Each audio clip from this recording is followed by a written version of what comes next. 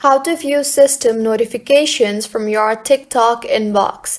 Hello everyone, I am Bishakha and welcome to our channel. I will take you through the quick tutorial on how to view system notifications from your TikTok inbox.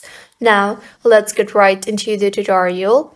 System notifications are important updates, suggestions, and notifications that appear as notifications in your notification bar.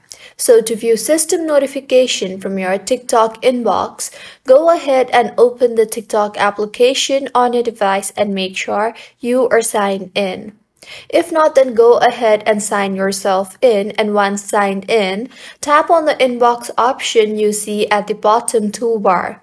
In here, you will be able to access all your TikTok messages. Now go ahead and locate the system notifications option and tap on that. Here you will find a collection of previous suggestions and notifications that appeared as system notification in your notification bar. So by following these simple steps, you can easily view system notifications from your TikTok inbox. If you find this tutorial helpful, please make sure to like the video and to subscribe to our channel for more contents like this. Thank you for staying with us until the end.